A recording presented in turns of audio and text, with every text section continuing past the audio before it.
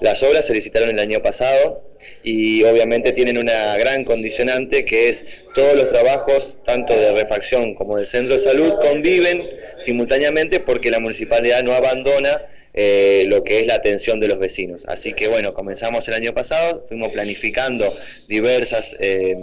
instancias de la obra y en este último tramo que ya están finalizando las tareas se coordinó para realizarlo durante el receso de verano, que es cuando el centro de salud tiene la menor demanda y tiene, digamos, la rotación de sus profesionales producto de la licencia. Bueno, eh, básicamente se intentó poner, digamos, el espacio del centro de salud en condiciones de lo que hoy representa la atención primaria de la salud, para todos los locales, entonces se hizo una ampliación de dos nuevos consultorios y se hicieron algunas refacciones y modificaciones a fin de poder garantizar que todos los locales tengan una ventilación en espacio interior e incorporar mayor iluminación natural que siempre favorece, digamos, la sanidad de los espacios.